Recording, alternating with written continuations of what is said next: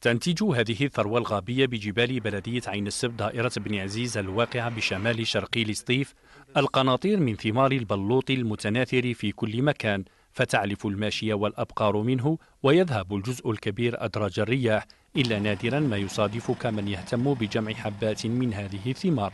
البلوط أصبح نادرا يعني ما كانش لا السؤال مطروح رغم أنه يعني يستهلك في الشتاء لا يستهلك في الشتاء لأنه مركز للطاقة ويحتوي على مادة ال quercétine اللي هي مادة مهمة جدا ناهيك على أن اللحاف تاع البلوط راهو مليح ضد حموضة آه، الأمعاء.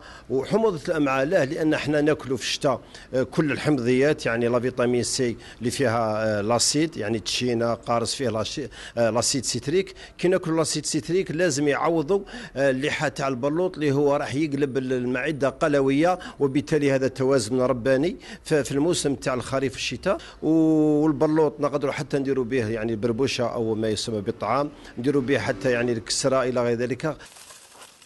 البلوط نوع من أنواع الثمار الجوزي والذي لم تستغني عليه العائلة الجزائرية في نظامها الغذائي أيام الآباء والأجداد. ها هو اليوم بالدليل العلمي يثبت نفسه مجددا ويذهل العلماء لما فيه من شفاء الكثير من الأمراض المستعصية.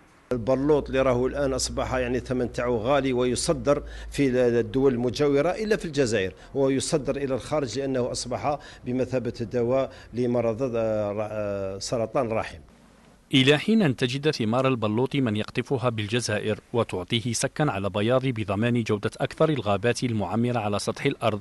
تجد أن أشقاءنا المغاربة استغلوا فرصة غيابنا من السوق العالمية ليحتلوا بذلك المرتبة الرابعة من حيث تصدير مشتقات البلوط بأشكالها خاصة التي تستغل كمواد أولية للصيدلة.